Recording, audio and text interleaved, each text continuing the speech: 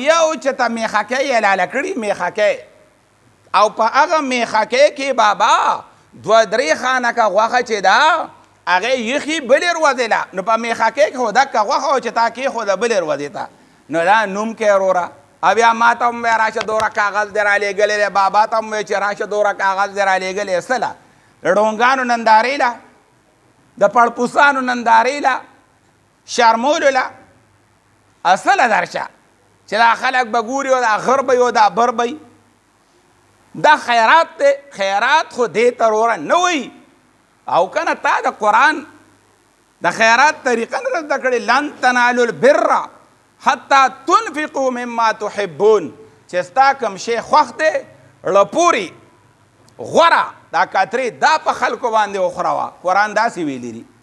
نه هغه چې مان میمان خو دا وي بله ورځ به ښځې راځي او د دې هلک به وي بله ورځ میلمانه راځي او بله ورځ بیا نو هغه بله بله ورځ څه کې یقین وکړه او اینه به دې خوا شي اینه به خوا شي یو خو دا رواج ختم کړي زمونږ په دې ملک کې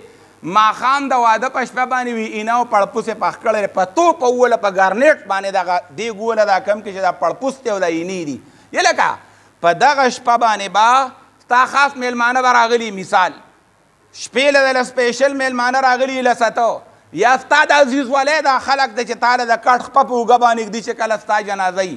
ستا قبر پسې کښې وړي دا د عزیز ولی خلک دا د شپې چې دی دا پړپوس چې وله تا پخ کړی دی دا د عزیز ولی ستا خلک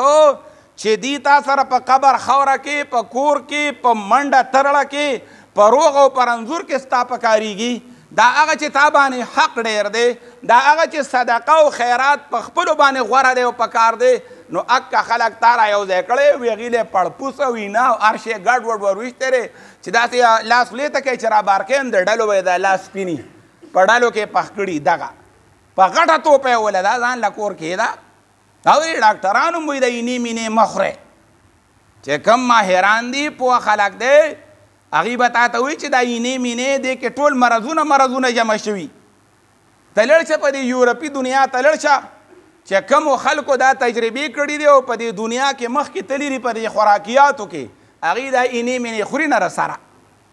دا تغی لرکی او دلته تای نه پخ کړی د ماسوتان نه او سار لبیا اتلس شپه ویده ښځو د سړو چلیدو او بیا درې درې نیمې بجې د ښځو نمبر شو. خذو زینتکم عند کل مسجد کله چې د مانځه وخی ځان سنباله وام وګوره وته دی وته نه دی ویلی چې ای بنی آدم خزی چې کله ډوډۍ لځې نو ځان یو ګنټه یو نیمه سنباله وام ټانګه به جوړه یې ټانګه به رنګه ګینټه یې ونیما په نوکونو باندې بخواري کې په سترګو باندې بخواري کې پړکونه به په مری باندې نولې سر کې به د ملکو پړکونه مړکونه لګې په لاسونو به د ملکو نکریزان مکریزان لګې هغه اوږده اوږده نوکونه برابر برابر چاکوان چاکوان چې د هغې پرې ښودلم ناروا دي د دې غټو نوکونو د خزو لپاره مو د جینکو لپاره مو دا پرې خودل او دا غټول دا بالکل په شریعت کې ناروا دي نو دغه نوکونه به اخوا دی خوا کوي دا جرابې به په اړ کې سری سری پیدا کوي بل شان سینډلانو د نه دی ویلي چې تر ډوډۍ لځې خړی روجې د پخ کړی ری په ودونو کې د خزو لپاره سي